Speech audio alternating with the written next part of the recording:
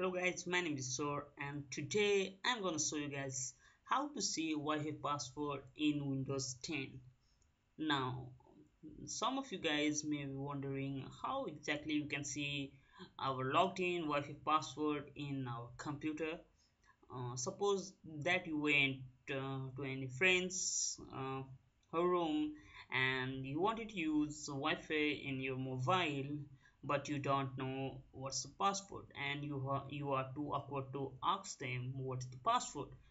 So what you can do is you can just open up their uh, laptop in which the Wi-Fi is logged in and you right click on this into, uh, Wi-Fi symbol and open network and sharing center.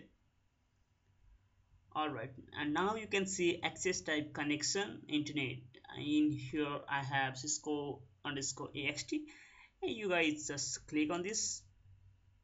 Now what you can do is you can just click in wireless properties and click on security and click on show character. Now you can see Wi-Fi passport here. So that's all guys. Thanks for watching. Don't forget to subscribe. Bye bye